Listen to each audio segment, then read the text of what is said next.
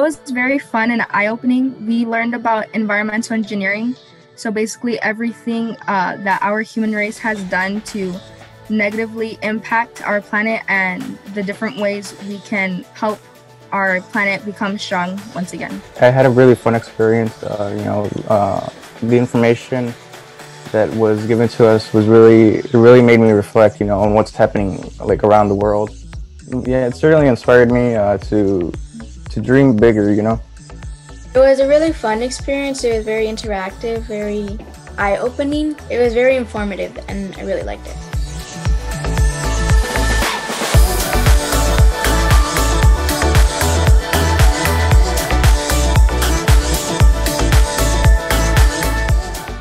I want to be success, successful in life to really make my parents proud and to really show them that I appreciated all the, the work they had to go through to get me where I am today.